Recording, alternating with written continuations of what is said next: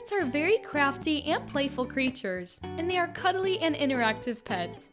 Ferret owners tend to love their pets, and they cannot just stop at having one. But ferrets are great for owners who have time to take them out and play with them. Now there are obviously a few things that you need to keep in mind if you intend to bring these furry energy balls to your home. So in this video, we have analyzed do's and don'ts that any ferret owners need to know before they start having one as a pet.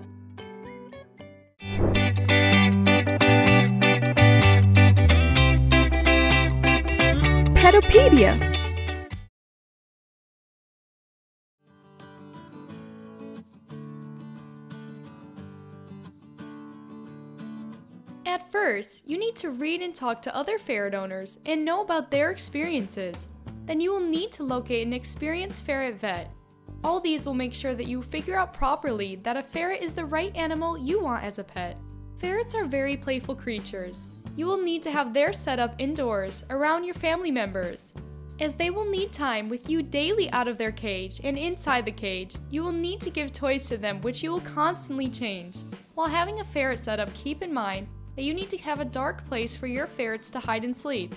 And be aware that the ferrets cannot stand temperatures that are above 80 degrees, so you need to avoid keeping the cage near the window. While carrying your ferret in the car, cover its carrier. Your ferret will need high quality and high protein food, and so you will need to keep such foods always available. Do not forget to provide fresh and clean water to your ferrets. You will need to do regular checkups and shots from an experienced ferret vet for the best health of your ferret. Now you will also need to do regular trimming of their nails, cleaning their ears, and brush their teeth regularly, as this will make sure that your ferrets are protected from fleas.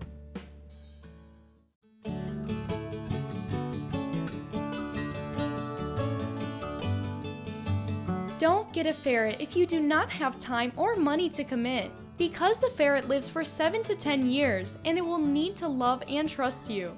Don't give your ferrets too many treats, because you need to keep in mind that your treats should not make up a significant portion of your ferret's diet. Don't bathe your ferret more than once a month. You need to remember that a ferret's body temperature is 100 to 100 degrees Fahrenheit, so tap water that is cold will be icy to them. Don't declaw your ferret because it will hurt them, as ferrets need claws to climb, keep balance, and grab onto things. Don't feed your ferret chocolate, alcohol, coffee, soda, dairy products, seeds, nuts, or high sugar foods, as this may cause serious health problems. So, in short, analyze before you feed anything. Don't use human toothpaste to brush your ferret's teeth, as that can be poisonous for your ferret. And finally, keep in mind that you don't let your ferret play or chew anything that's made of rubber, because that could be fatal to your ferrets. These are a few of the do's and don'ts for you as a new or wannabe ferret owner.